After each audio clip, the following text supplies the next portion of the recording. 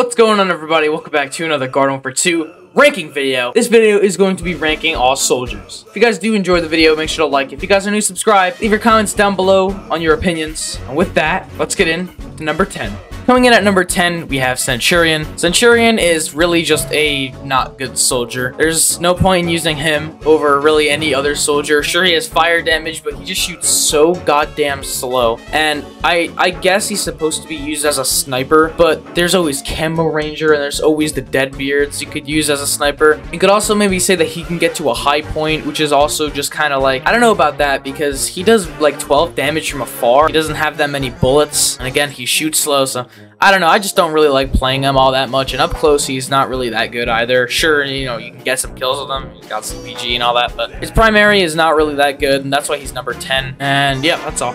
Coming in at number 9, we have Camo Ranger. Now, Camo Ranger is, in my opinion, just really a better Centurion. He's not really anything more than that. He does have a bigger zoom, where his zoom is actually a lot farther than every other soldier, and he does deal more direct damage. Now, the reason why I'm putting him higher is because he is a sniper. I mean, it's not like Centurion where you don't know how you're supposed to play him right away. Like, you don't know if you want to be up close or far away. He is a sniper, and he does pretty good at it. Really, he's not bad. It's just more of, I don't really enjoy playing him since I'm not more of a sniper soldier character. I'm more of a kind of mid-range, and even at mid-range, he's eh. Um, but really, close-up, if you get into a close-up fight, then, you know, you're not winning that, because you're playing a sniper character up close. You might win it, but most of the time, not. And yeah, that's why he's number 9.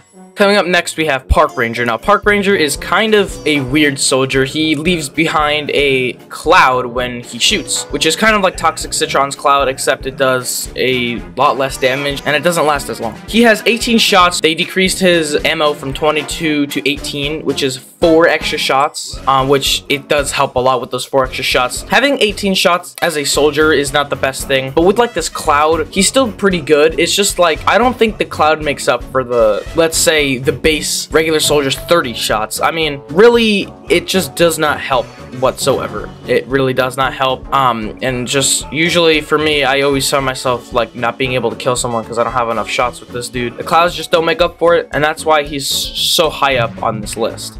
Alright, coming up next, we have General Supremo. Now, General Supremo, my opinion has changed a lot over the last 24 hours about this guy. I first thought he sucked, and then I played him, and then I realized that he really isn't that bad, but he is one of the worst soldiers, and as I said, not one of the worst. He's just on the bad side of the soldiers. Um, and the main reason why is because I just don't like how he's an overheat character. I would rather shooting someone and I just reload than have to wait and, and not know when I'm going to overheat. Um, and also he can't jump, which I know is a, is a factor for a lot of people why he's bad. It, it doesn't mean that much to me, but I would rather be able to jump and know when I have to reload than not. Um, he's still really damn good. I mean, if you go up to someone, like let's say a pea shooter, you kill him in like three seconds with him, he's really good. He shoots really fast. I think uh, a little slower than Sky Trooper. It's just kind of a bit of a detriment not being able to jump and overheating. But other than that, I mean, really, he's really fun to play. I can't lie. From here on out, all the soldiers are going to be good, but it's more of a which one is better than the other situation. Coming up next, we have Scuba Soldier. Now, the reason why I put Scuba Soldier here is a lot of people think he's really broken, and I just can't say the same. I don't know, it's just his splash isn't the greatest, and honestly, people say he's a better tank commander, but I, I don't think so. I mean, maybe you can see people through walls, but to be fair, what are you really going to do with that? It's just kind of a pointless feature. Like, I know why, like sonar, you know, underwater, like sonar, I get that, but it's just kind of pointless. As I said, his splash isn't that good. His direct damage is pretty good, but that's really if you hit a direct damage shot, which is barely ever, because if you're playing this guy, I don't expect you to ever hit a shot. But yeah, honestly, I just don't really like playing him. Um, he is pretty good. Like, if you, if you are good at aiming, like, he is pretty pretty freaking good, but I just really never enjoyed playing him. After I mastered him, I just really have never played him or really thought to play him. Coming up next, we have Arctic Trooper. Really nothing bad about him. He's just regular foot soldier with a freeze effect, but less damage, two less damage to be exact. And honestly, he's pretty good. I, don't, I just don't think he's better than regular foot soldier because of that two less damage. It does take around 15 to 20 shots to freeze someone with all direct shots, and by the time you freeze them, you really have to reload regardless So it's like, it doesn't really do that much for you, but ZPGing them when they're frozen, you know, that's easy kill, obviously. And they do freeze, even if they're not frozen, they do like still have that freeze effect where they move slower. So it is a lot easier to hit them after that. Um, yeah, really good character. He's also really fun to play. I just don't think that frost effect makes up for that two damage loss. Because damage loss on a foot soldier, when he has that rapid fire, it really is kind of a detriment. But other, other than that, he's really good.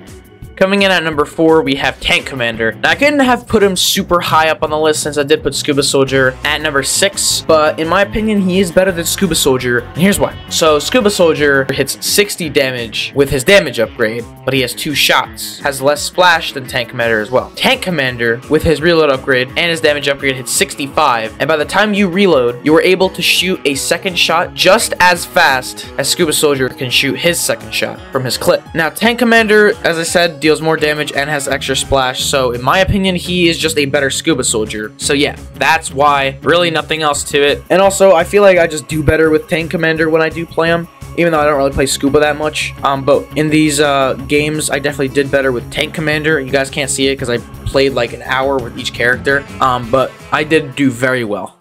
Coming in at number three on my podium is Super Commando. Super Commando has three shots, and with both of his reload upgrades, he is really good. It basically seems like he's not reloading. He's basically a burst character who, in my opinion, just feels like he never has to reload. Because think about it, Sun Pharaoh is a burst character, and he shoots just a little bit slower than her, but he deals a lot more damage. And he has a lot more range. So, honestly, that's really the, all the reasons what I just said there. It might not seem like a lot, but it is just absolutely absolutely incredible when when when you play him. Like he doesn't need a lot to be good. These soldiers don't need a lot to be good. He's just good as he is. Without with his reload upgrades, he's still okay. Um, he's definitely not nearly as good, but he's still very good. But just honestly, every time I play him, I absolutely destroy because he's he's just so freaking good.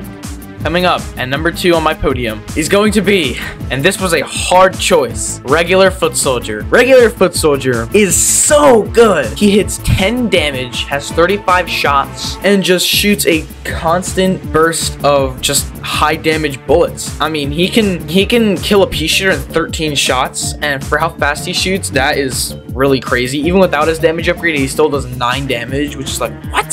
Without any upgrades, Soldier is amazing. Like, literally, you don't need upgrades for this guy to be good at all. It is absolutely nuts. But, like, oh my god, he is so freaking good. It is actually just insane. Every single time I play this guy, I just know I'm gonna do well. Because even up close, he's super good. All these other soldiers, maybe other than Super Commando and Tank Commander, the these four do really good, but Foot Soldier does super good close up. And I just think he is just so incredible. But you know who else is incredible? You know who else does really good close up? You know who else does really good far away? My number one pick. And my number one pick for this list is going to be, you guessed it, Sky Trooper. Sky Trooper is just a buffed version of regular foot soldier. I mean, I have no other way to put it. He deals one less damage and has five less shots. However, there is one key factor to all of this. His DPS. Holy shit, his DPS is nuts. He has the highest DPS of any soldier. Remember how I said General Supremo could shred a pea shooter in 3 seconds with how fast he shoots with his 6 damage? Yeah, Sky Trooper, mm, maybe 2. Sky Trooper is just out of this fucking world. Like, absolutely incredible. His DPS is so good. If you learn how to control his crosshair and his recoil, you will be unstoppable. I have gotten plenty of double-digit shrieks on the first point with him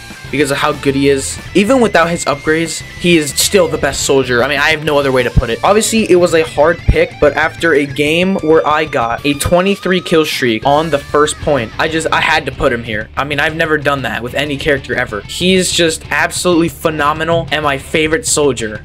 Alright, that's gonna do it. Thank you guys so much for watching. If you guys did enjoy, make sure to drop a like. If you guys are new, subscribe. Leave your comments down below. Let me know what class I should rank next. And until next time, I'll see you guys in the next one. Peace.